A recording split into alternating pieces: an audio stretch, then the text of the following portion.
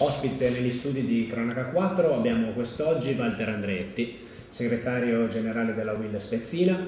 E con Andretti affronteremo i temi che hanno animato il dibattito politico locale degli ultimi tempi. Partiamo subito ecco, da questo novembre, è stato un novembre importante per Spezia, c'è stata la firma di Malacalza, la scorsa settimana ACAM e ERA hanno raggiunto la, la firma del memorandum. Ecco, partiamo da la reindustrializzazione dell'area ex San Giorgio, lei aveva detto a suo tempo, aveva dichiarato 10, 100, 1000 malacalza.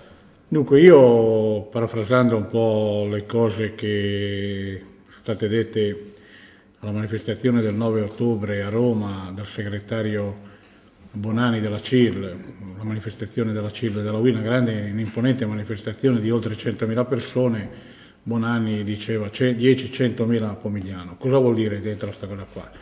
Che è ovvio che in un accordo sindacale come quello di Pomigliano e anche quello della San Giorgio è ovvio che il sindacato per poter attirare lavoro sia a Napoli che alla Spezia deve cercare insomma, di fare degli accordi, spesso e volentieri eh, questi accordi non piacciono a tutti, perché è vero, insomma, cosa c'è dentro questi accordi? C'è flessibilità, c'è un po' di deregulation da un punto di vista fra parentesi, di piccoli diritti sindacali che oggi più che mai per poter tenere l'industria in Italia, anche la Spezia, uno un sindacato ragionevole insomma, deve concedere. Qui alla Spezia insomma, tutte e tre le sigle sindacali, FIM, FIOM, WILM, CGL, CIL, WIL, hanno fatto questa cosa con Malacalza, per cui insomma, noi siamo molto contenti.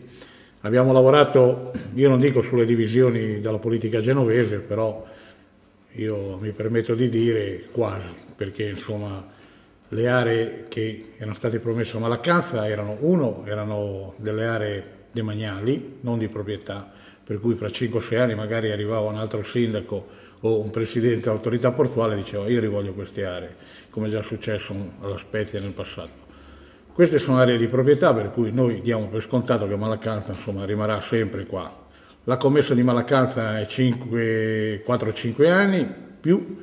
Ci sono delle altre ipotesi, comunque insomma questi sono il lavoro che sta facendo Malacalza, ha vinto questa commessa internazionale, 160 milioni di euro, che insomma, sono, è parecchia roba. Poi insomma, Malacalza investe 60 milioni in una fabbrica, lì si tratta di cambiare diciamo, molti capannoni dalla San Giorgio, perché insomma, questi manufatti che vengono fatti per la centrale nucleare in Francia sono alti 14 metri, per cui ecco perché la San Giorgio poter portare in modo agibile questi manufatti nel porto, farli entrare al molo Ravano e, e via. Io credo che insomma, la Spezia molto probabilmente non si è ancora reso conto, però insomma, come all'inizio del 1900, del secolo, del secolo passato, quando nacque l'Otto Melara, l'Ansaldo, che poi è diventato Fincantieri, insomma, a Fincantieri facevano i sommergibili e all'Ottomana facevano le armi.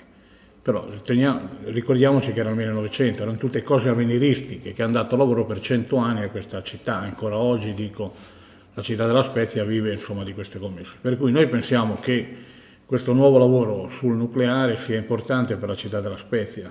Perché dico questo? Perché io penso che comunque 150 persone, non so, ma magari arriverà anche 200, poi stiamo parlando di, di un'azienda importantissima che deve avere in modo collaterale tutta una serie di piccole e medie aziende che lavorano per fornire magari della minuteria come l'Ottomenara, come la Fincantieri, che non fanno all'interno perché non possono farlo, per cui vuol dire rifar crescere l'indotto anche di, di prestigio. Eh, passiamo ora alla questione. A, a, a, era, e ACAM. Um, c'è stata la firma del memorandum, ci si impegna entro il 2012 per l'integrazione. Ecco, non le chiedo di fare Nostradamus, ma cosa accadrà? No, io non è che voglio fare Nostradamus. La questione dell'ACAM è una questione molto complessa. Prima di tutto, io nel passato, insomma, pensavo che si facessero delle aggregazioni diverse, avrei avuto piacere, insomma, che entrassero anche dei privati cioè, ricordiamoci che dieci anni fa, 15, 10-12 anni fa, il sindaco Rosai aveva tracciato un futuro diverso per l'ACAM, aveva tracciato un accordo con la termomeccanica. Oggi, se questo accordo fosse stato fatto, ci sarebbe eh, un gruppo nuovo alla Spezia, molto probabilmente sarebbe quotato in borsa e le cose sarebbero andate diversamente. 400 milioni di debiti non ci sarebbero stati, io voglio dire che insomma questi 400 milioni di debiti li ha fatti Tortora, però voglio ricordare che c'erano 105 persone dei consigli di amministrazione, per cui hanno, ci sono anche delle responsabilità da un punto di vista politico e oggi siamo a, a fasciarci le ferite. Io non voglio assolutamente né che le organizzazioni sindacali e in principal modo i lavoratori ne facciano le spese, perché io dico sì a ERA perché oggi Comunque è stato firmato l'accordo, io non sono contrario di principio alle aggregazioni all'interno di queste multi-utility. Quello che voglio dire è che oggi alle 3 abbiamo una riunione con la direzione dell'ACAM, molto probabilmente si riparlerà di nuovo di contratti di solidarietà. Noi non possiamo accettare questa cosa qua. La mia organizzazione è una di quelle che si è schierata comunque contro, è stata fra le prime. Perché non possiamo accettarle? Perché contratti di solidarietà comunque vanno a ledere certi principi che dicono oggi ci sono 417 impiegati, non li abbiamo assunti noi, li sono stati assunti dalla direzione dell'ACAM, per cui voglio dire perché devono fare le spese questi lavoratori che sono incolpevoli di tutto quello che è successo.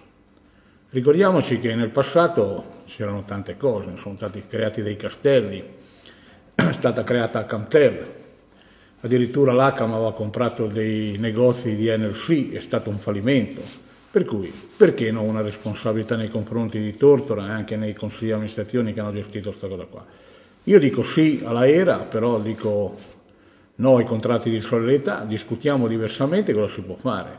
Perché non accetto neanche il fatto che comunque Garbini dice, bene, allora se non facciamo i contratti di solidarietà di 417 impiegati, facciamo i contratti di solidarietà per tutti i lavoratori che sono 900 e tanti.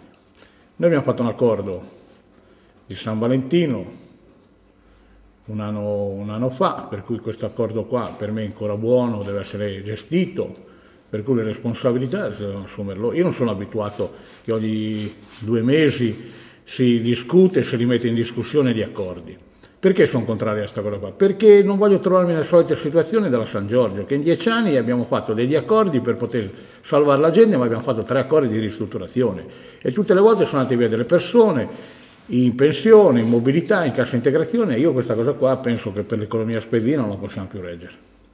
La vicenda Baglietto, uh, Overmarin, aggiudicatario del concordato, ecco una soluzione che approvate, comunque ci sono ancora lavoratori in cassa integrazione? Allora io la mia organizzazione, ho sottoscritto eh, la categoria dei metalmeccanici e dei chimici, perché i chimici rappresentano l'azienda San Lorenzo, ci siamo schierati per il San Lorenzo, perché il San Lorenzo pensavamo che era la soluzione ideale e giusta, perché ha una struttura tale per poter eh, gestire il baglietto, invece è andata diversamente, perché insomma comunque il tribunale, la politica, chi più ne ha ne metta. Ha scelto eh, questo imprenditore che è via Regino. A me lascia molto perplesso perché c'è un'intervista sua sulla cronaca di Viareggio, giornale La Nazione, dove dice che lui è stato tirato dentro questa operazione. Questa operazione non sta funzionando perché?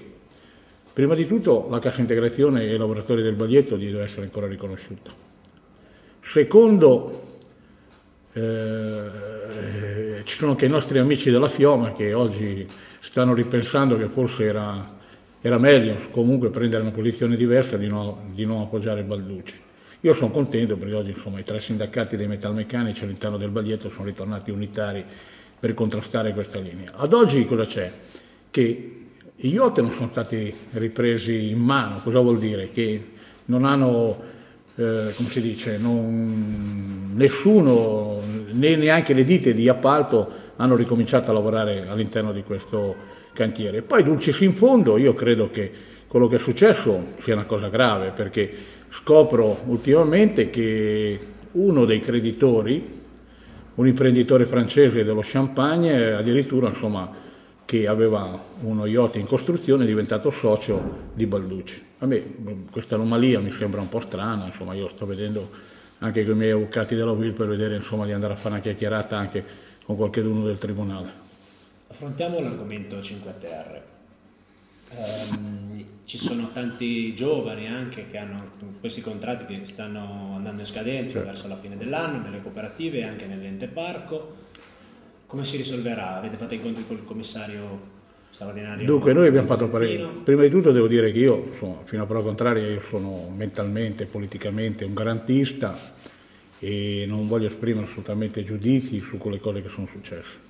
Però effettivamente insomma, ci sono 200 lavoratori che lavorano all'interno del parco e la nostra preoccupazione, tutti i tre sindacati, è che insomma, venga per un motivo o per l'altro, eh, vengano dispersi insomma, questi 200 potenziali eh, lavoratori che potrebbero diventare a tempo indeterminato, perché bisogna anche dire che molte di queste persone sì sono a tempo indeterminato, però lavorano nelle cooperative. Io sono, quando è venuto fuori questo scandalo abbiamo scoperto che la maggior parte dei lavoratori fanno parte di cooperative, non del parco. Noi pensavamo comunque che ci fosse un po' di lavoratori dipendenti del parco, per cui abbiamo scoperto che c'è solo un dipendente. Addirittura anche la direttrice del parco credo che abbia un contratto a tempo determinato oppure addirittura progetto nel passato. Tutto questo per noi è stata una meraviglia perché insomma, abbiamo sempre pensato che comunque l'impulso che è stato dato sull'occupazione in quei posti lì era importantissimo ed è importante e sarà importante anche nel futuro.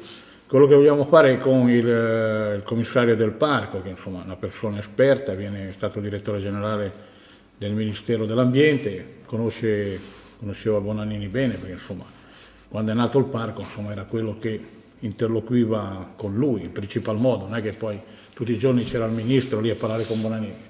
Per cui noi pensiamo che attraverso già una fase iniziale di cassa integrazione per alcune aziende di poter salvaguardare questi lavoratori. Noi vogliamo assolutamente che il, il commissario metta anche, abbiamo visto che ha messo a concorso 8-9 posti strategici per il parco, la cosa che non ci piace è che comunque, insomma, in teoria oggi sì, c'è questa cosa qua della, della permanenza dei cinque anni come, come, residenza nelle Cinque Terre, però non ci sta bene perché c'è il rischio che molti di questi lavoratori che hanno lavorato da sempre nel parco non possano partecipare al concorso. Oppure c'è preoccupazione. Sì, c'è preoccupazione, potrebbero partecipare, magari poi non vincere perché ci potrebbero partecipare altre persone che non hanno lavorato nel parco e vincere il concorso.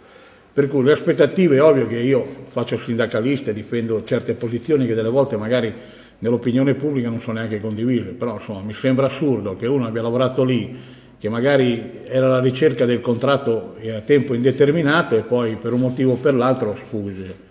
Ora io credo che questa trattativa sta cominciando ad andare avanti con, con, col Presidente cioè con il commissario, con le veci del Presidente e crediamo insomma, di poterle risolvere. Ci sono altre questioni insomma, che vanno focalizzate perché nel passato non erano state mai messi diciamo, i puntini sulla I che dal punto di vista contrattuale, perché ci sono le questioni che riguardano i pulmini, ci sono le questioni che riguardano il ristorante, insomma è una cosa che va, va aggiustata col commissario. Ecco, Waterfront, Favorevole? Dunque, io sono favorevole al waterfront, non da adesso ma da sempre.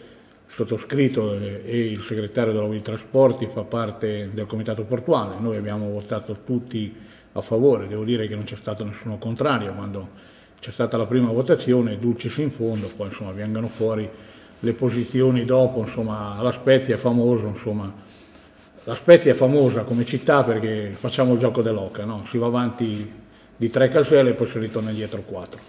Incredibile la posizione insomma, del Presidente della provincia, perché la provincia ha votato a favore e poi dopo insomma, ci ha ripensato. Il waterfront cosa vuol dire? Vuol dire sviluppo, vuol dire occupazione per i giovani. Io credo che questa provincia non è che possiamo più permetterci di fare delle fabbriche chimiche, magari ce n'è anche poche, però insomma, voi vedete che tutte le volte che nasce una nuova iniziativa, addirittura anche su Marinello, insomma tutti i verdi, comitati, cominciano a, a, dire che questo non va bene, quell'altro non va bene. Io credo che comunque il waterfront, io ho visitato Barcellona 30 anni fa e adesso. Barcellona è cambiata completamente, addirittura 30 anni fa c'erano i cantieri di demolizione lì sul porto, oggi c'è, sono strutture... ci sono state a novembre, quattro anni fa, c'erano navi che arrivavano in continuazione, hanno fatto una bellissima stazione marittima, pieno di piccoli ristoranti e c'è aree che serve anche per il divertimento, per, per i giovani.